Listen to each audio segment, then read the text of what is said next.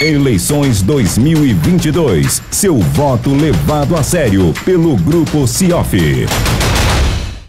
De volta na cobertura das eleições 2022, agora na Escola Padrão aqui na Zona Sul de Poços, também um dos maiores colégios eleitorais aqui do município. Por aqui, a movimentação está bem maior em relação a outros locais que a nossa equipe passou já pela manhã. De fato, as pessoas estão preferindo vir no período matutino exercer o direito do voto.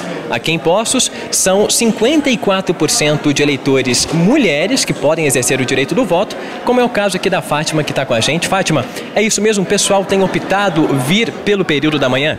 Sim, período da manhã a gente fica mais desocupado a parte da tarde, né?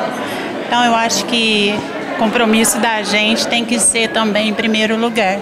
Então eu acho que vir a parte da manhã é meio complicado, porque muita gente decidiu a isso, mas eu optei a esse horário. O que diz respeito à organização, o que você tem achado daqui, Fátima?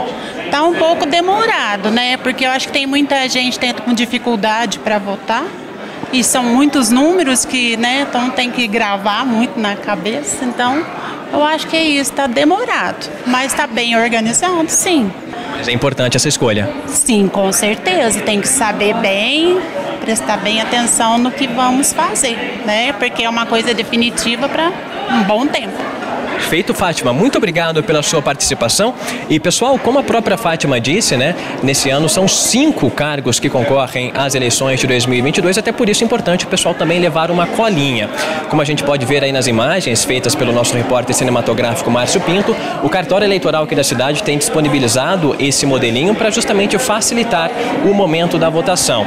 No primeiro lugar, a votação é para deputado federal com quatro dígitos, seguido de deputado estadual com cinco, depois vem senador, governador e também o último voto, o voto presidenciável. Você também pode levar nessa colinha de casa sem nenhum tipo de problema, mas é até importante isso para justamente a pessoa não se confundir ali no momento e por porventura acabar anulando o voto ali, votando no espaço equivocado. Então é importante também essa informação, essa utilização da cola para essas eleições de 2022. Nós voltamos a qualquer momento durante a nossa programação. Diego de Deus, a Escola Padrão aqui na Zona Sul de Postos, o seu voto levado a sério pelo Grupo CIOF de Comunicação.